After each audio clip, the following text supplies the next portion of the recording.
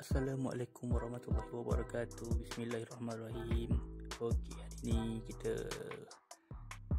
uh, Tak nak buang masa Terus kita tengokkan macam mana Nak tengok market dalam satu hari. Okey, uh, okay, kita buka hari ni Saya buka Okey, saya tengok dekat sini Sini saya buka. Uh, Time frame 5 minit. Maksudnya line, line ini adalah untuk menunjukkan satu hari time frame berapa? 5 minit. Okey sekejap. Kita tengok yang lain. Kita tengok yang ini. Okey. Okey yang ini adalah market complete. Maksudnya market buka satu hari dekat sini. Lepas tu sampai habis satu hari dekat sini. 24 jam. So macam mana kita nak tengok sini market Dekat sini kita nak tahu sama ada dia naik atau turun. Okey sekarang ni macam mana kita nak tahu? Ketika market dekat tengah macam ni kan? Kita masuk hari uh, market open. Lepas tu kita tengok macam mana kita nak tahu market tengah naik ke tengah turun. Okey so kita kita buat satu tanda lah. Kat sini kita buat satu tanda okay, kita tengok yang mana paling tinggi. Ok bila market open sini paling tinggi. Ok bila market open kita tanda kita siap. Kat mana market paling rendah? Ok ok paling rendah kat sini kita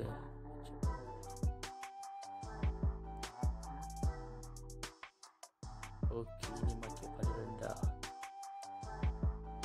case ni maksudnya dia masih uh, flat punya market lah. Lepas tu kita tengok sini apa akan jadi. Ok tengok kat sini macam mana kita nak teka dia market tengah naik atau rendah. Kan? Uh, so that's why kita masukkan satu indikator lagi. Kita masukkan satu indikator uh, moving average. Moving average ni kita masukkan 50 ha, tengok dekat sini. Adalah 50 ok ha, keluarkan ha, so kita tahulah 50 ni bila macam berfungsi sebagai magnet kita. And indikator 50 ini MA 50 ini movie average 50 ini ada berfungsi sebagai magnet. Magnet magnet bila lebih dia akan turun balik dekat situ. Okey. Lepas tu kita mas kita fikir macam mana kita nak tengok. Dia base pada sini macam mana kita nak tengok dia kita posesif untuk entry. So untuk ni kita tengok macam mana high low dengan low high macam mana? So yang ni saya tandakan saya, tandakan kan? Sini. Saya tandakan dulu. Sini.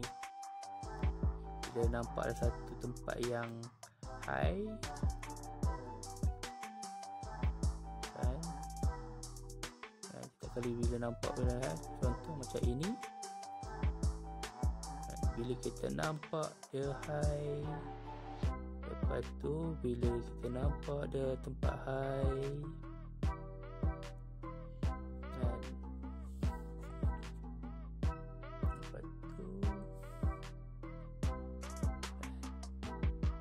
saya tandakan contoh market. Macam kita macam mana kita nak back test. Okay, yang paling tinggi high higher high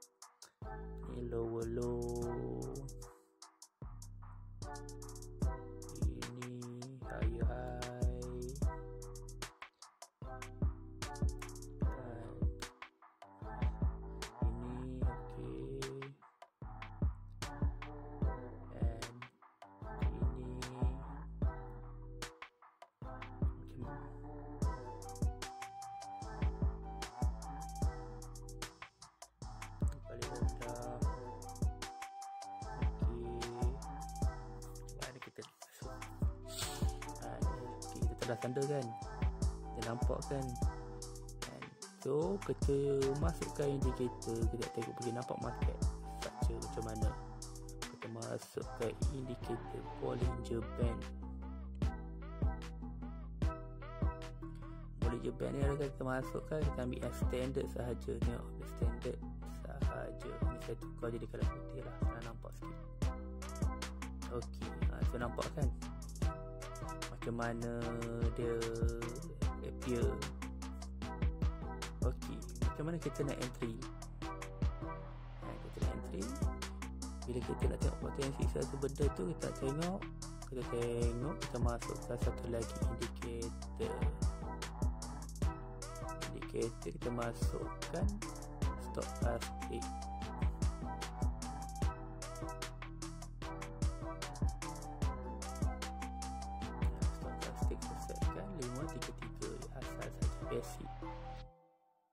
sahaja. Ok so macam mana kita nak pakai? Kita nak entry. Ok ini saya zoom sikit. Supaya kita lebih nampak. Ok katakan market tengah berjalan. Kan market tengah berjalan. Kan tengah bila tengok market tengah berjalan kita mesti akan jumpa, akan jumpa minta akan jumpa dulu tempat yang paling tinggi dulu. Katakan kita baru start masa kita tengok market baru buka hari ni lepas tu dia akan berlaku kenaikan. Okay. bila dia dah berlaku satu kenaikan ini dia ini. So bila dia berlaku satu kenaikan macam ni kita kat mana kan? Kita akan tengok second punya bukit kat mana Second punya bukit yang akan berlaku adalah dekat sini.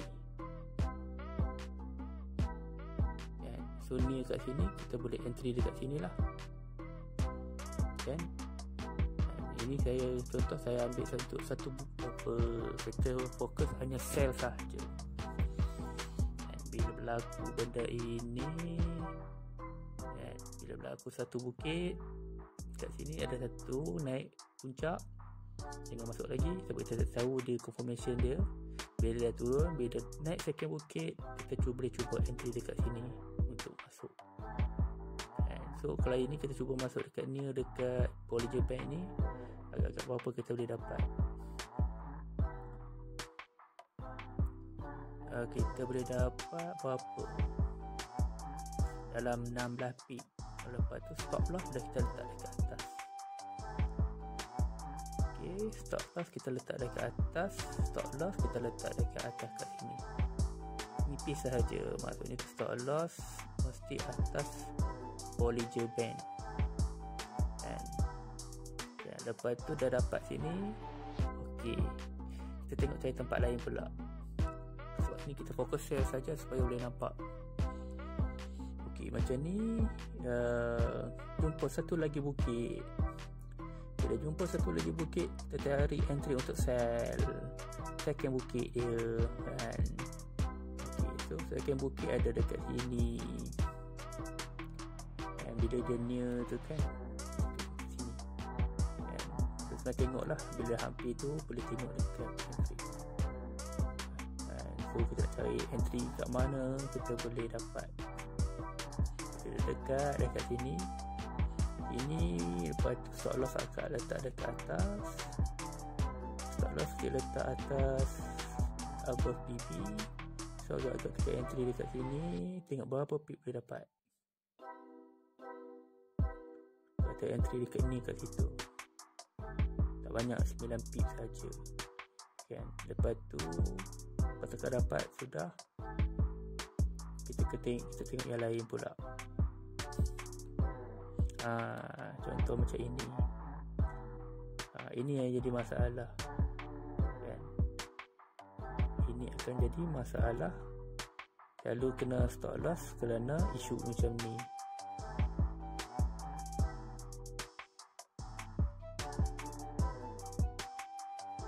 Kan? so bila dah jadi bukit kita cuba nak cari entry dekat sini. Kan? Tapi dia terus naik lagi kan? Dia terus naik naik naik. Kan? Bila terus naik lebih kan? So kita akan kena stop loss dekat sini. Dan kita akan kena stop loss ini macam mana kita nak tahu market structure ni tengah naik kuat? Kan? Macam mana dia makin naik kuat? That's why kita tambah lagi satu indikator yang boleh bantu kita untuk tengok market tu lebih tepat.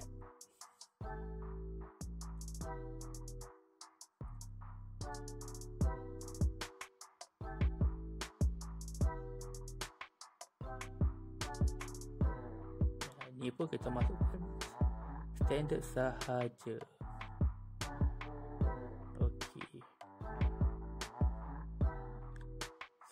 tengok macam mana kita nak dapat lebih tepat. Supaya kita entry itu tepat dan tak kena stop loss bila dia jadi macam ni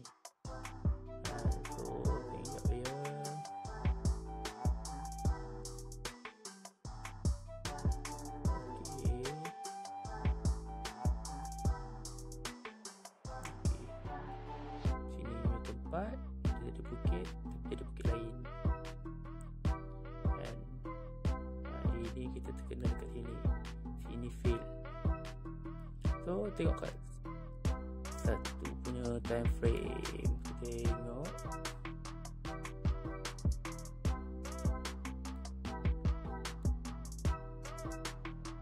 Jadi macam tu?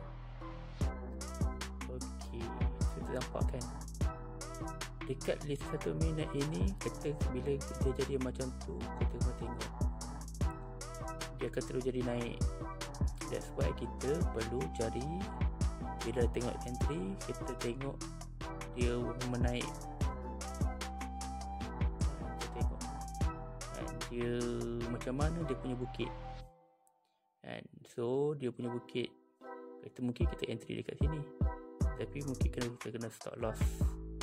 So kita nak jaga betul-betul Kita cari entry yang terbaik. Bila jadi bukit Tengok level dia naik macam mana Sampai hujung. So kita cari yang paling Hampir dengan hujung Dan Kita entry dekat situ. Bila entry dekat situ Baru kita Dan Baru kita tengok Kita, kita ambil TP dekat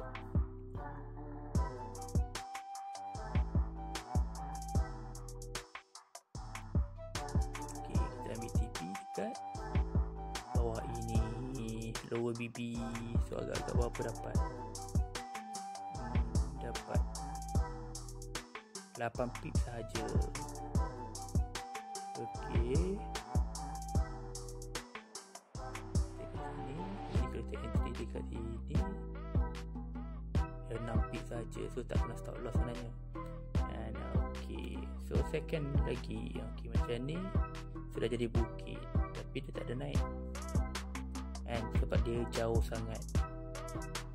Kat sini dia satu jadi bukit satu lagi jadi bukit yang second punya terlalu jauh sangat. So bila jauh sangat saya tak recommend untuk ambil. Sebab kemungkinan dia akan naik balik. Tengok macam ni dia tak akan sampai ke lower BB maksudnya kan sebab tengok magnet dia ni kan. Kan, kan? memang ini dia boleh tapi kita tak nampak. Dia punya second bukit dia tak tak menjadi lagi. Dan ini naik. Dan macam ni tengok. And dia makin naik so maksudnya katakan kita fikir ini jadi first bukit. Kita tengok yang ini ini jadi first bukit.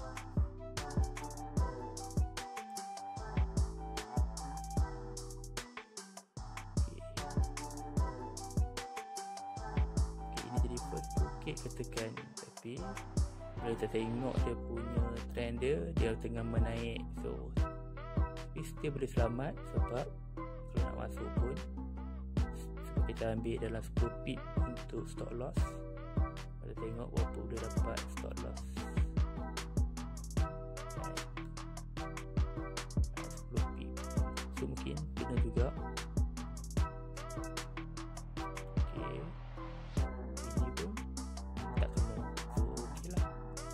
Tu boleh masuk kita kita ambil second first bukit boleh lah juga. Eh, untuk punya stop loss. Eh, ini jadi first bukit. Ini second bukit. Ok bila jadi first bukit tengok yang second bukit untuk cari peluang entry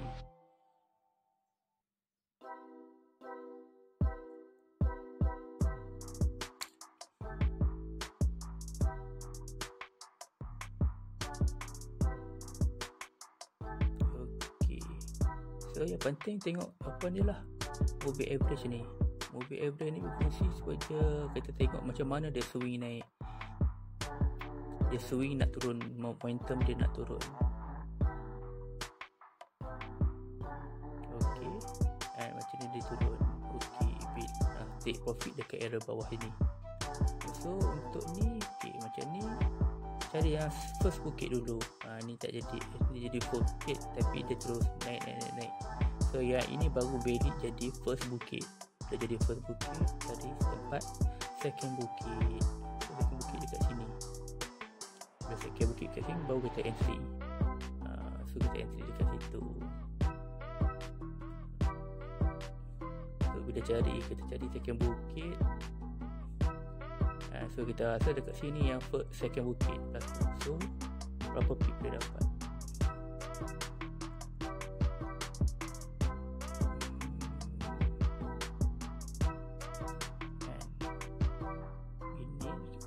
dapat dalam 49 pip. Lepas tu tak apalah kalau nak turun lagi kita kena tengok time frame besar. Ha, ni boleh pergi 192 pip tapi fokus untuk yang ni dulu. Ha, sebab dalam satu hari tentu saja. Ok dalam satu hari kita boleh dapat tempat berapa tempat, berapa tempat. Tengok dalam beberapa hari dalam satu hari kita boleh dapat berapa tempat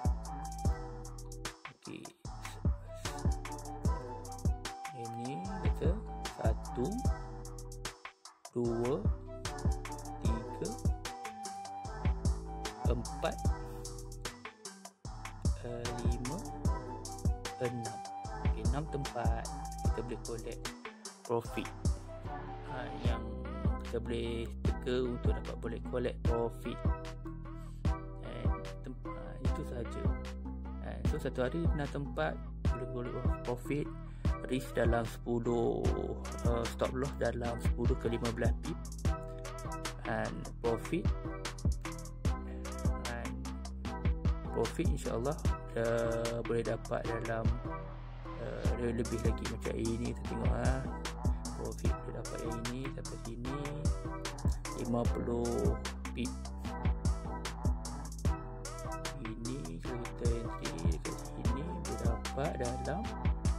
22 pip ini kita boleh dapat.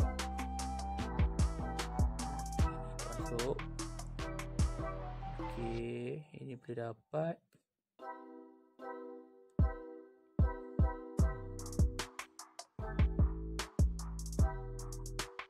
Dalam 12 pip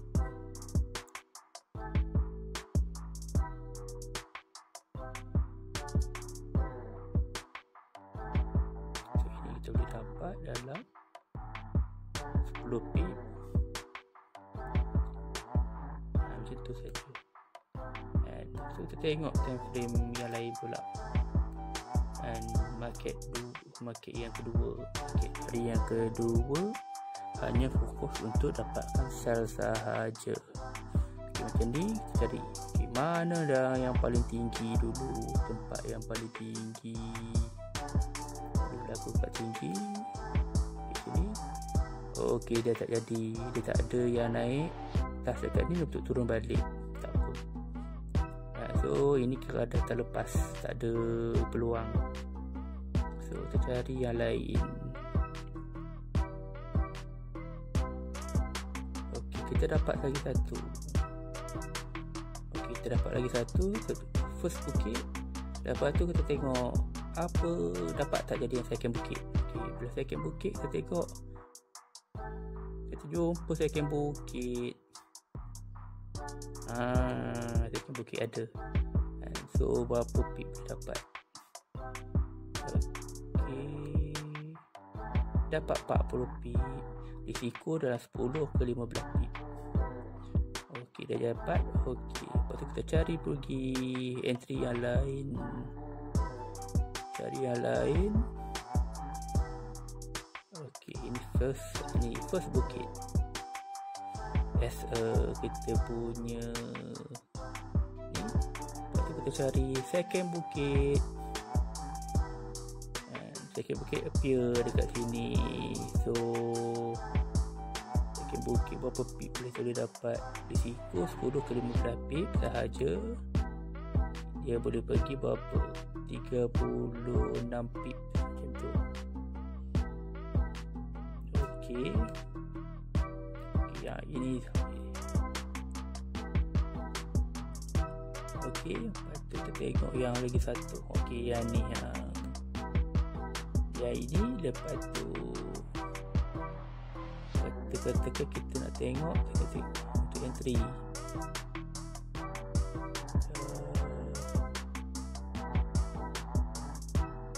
uh, tengok yang ni kita kita nak entry tapi dia terus naik saja kena SL kenapa kena SL sebab cycle tengok pada line cycle dia tengah sini cycle sell sell sell sell sell, sell. bila habis sell dia akan berlaku buy punya cycle. So that's why kat hujung ni dia tak ada terus sell dia akan jadi buy so kalau kata kena ni kena stop loss dalam 10 ke 15 15 pips is normal lah dalam trading mesti ada ni. Tapi kalau kita dah faham cycle dia bila dah selalu profit dekat sini dekat ujung ni mesti akan loss. That's why kena kita selalu masuk dalam entry masa awal-awal cycle. Bila dah asyik profit profit profit ha, so dekat hujung ni mesti akan SL ha, so kalau yang tahu dah dapat teka tu ha, bila dapat profit mesti uh, lepas tu kita tengok bila dah berlaku naik kan ha, ini jadi second kan Okey, ini jadi yang first bukit. Ini jadi first bukit. Dan lepas tu second bukit entry. Nah, ini dah lebih sikit. Kenapa dah lebih? That's why kita bila naik entry kita tengok dekat time frame 1 minit. Tengok the best price the best entry level. And the best entry level. Okay tengok macam mana. And so kita tengok dekat sini. Dan tengok dekat MACD nampaknya bila kita tengok kata kono-kono kita nak entry dekat sini. Tapi kita tengok swing dekat sini ni dia lebih nak naik. That's why dia lebih kuat. And kalau kena kat sini kena stop loss pun tak apalah. And so kita tahu uh, is normal uh, SL yang penting kita profit kita mesti lebih pada SL setiap kali kita entry. Tu yang penting kita tengok 5 minit balik. So kata yang tu ini kalau dah dapat dah mahir dah dapat agak lah. Entry the best.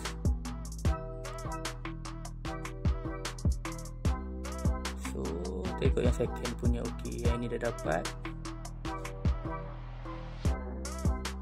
Kita yang ini ini jadi first bukit sebagai reference. Lepas tu kita tengok cari entry dekat sini level kenapa tak sampai kan? so kita tengok kenapa tak sampai kan? that's why kita bila dia dah ada ni kita cari peluang nak entry sell ni kita kena tengok the best level dekat M1 tengok dekat M1 kan dekat M1 tengok dia naik mesti jadi bukit atas kan jangan masuk dekat area sini. Bila dia paling level paling atas baru kita entry. So bila kita baru kita entry dekat level atas. And tengok. Macam mana dia swing untuk turun balik. Kekuatan dia habis naik dekat atas. Dan dia tak boleh tembus dia akan turun balik. So yang ni berapa kita pip boleh dapat? Okay, ini berapa pip boleh dapat? ini katakan kita boleh dapat dalam 48 pip dengan risiko 20 pip dan tapi kita kalau kita edit sini kita ambil uh, 15 pip sajalah atau 10 pip sajalah. Kan sebab kita nak kawal setiap kali entry hanya stop loss 10 hingga 15 pip saja. Uh, so kita dapat 48 pip untuk risiko 10 ke 15 pip sahaja dan tetapkan sendirilah kalau nak tight lagi 10 pip lah. Kalau yang nak low sikit 15 pip untuk dapatkan 20 hingga 40 pip setiap kali entry. Minimum mungkin 10 pip atau 15 pip ha, so kita tengok yang ini berapa peluang kita boleh dapat? Ok ini tak valid. Ini first. Ok ini valid. Satu dua ini fail. Tiga empat. Empat uh, empat tempat kita boleh dapat dalam satu hari yang ini. Lepas tu tengok berapa pip setiap satu berapa pip boleh dapat. Ini boleh dapat dalam 50 pip lah. Ok ini boleh dapat berapa pip 85 pip ok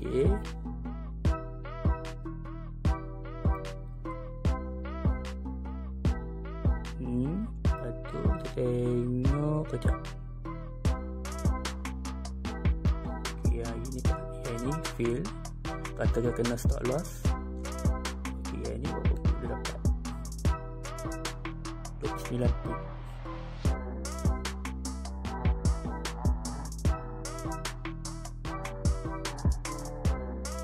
yang ini dapat berapa 40 45 pip yang penting mesti tengok mat 50 MA ni sebagai magnet. Dan bila jadi bukit tengok berapa magnet dia nak turun.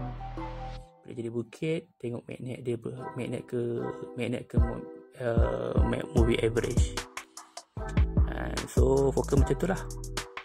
Ok sekarang ni kita tengok yang ni. Ok hari ni dia market dah tutup. Okey, kita tunggu ini sebenarnya cycle dah habis. Mungkin dia naik, mungkin dia akan turun ataupun mungkin dia naik lagi. Kita fokus yang macam ni. Bila dia dah naik jadi bukit, lepas tu yang ini menjauh. Bila menjauh, memang potensi untuk dia, dia pergi balik ke moving average tu kuat. Ha, ini teknik sebenarnya kuat. Ha, ni teknik apa macam mana kita nak tengok starting punya cycle untuk sell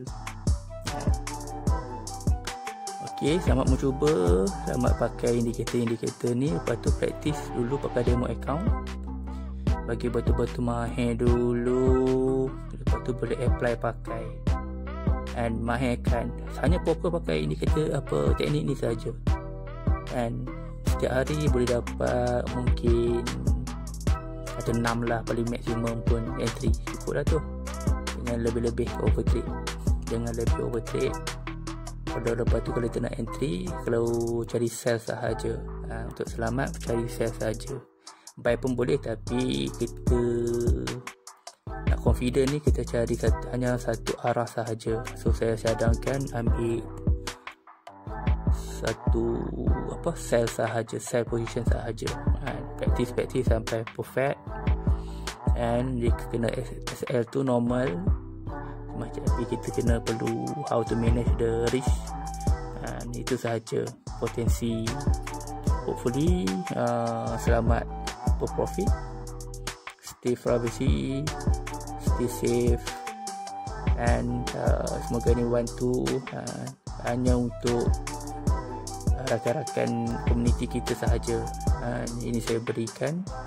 And private uh, lesson kita punya rakan-rakan sahaja. Sekian terima kasih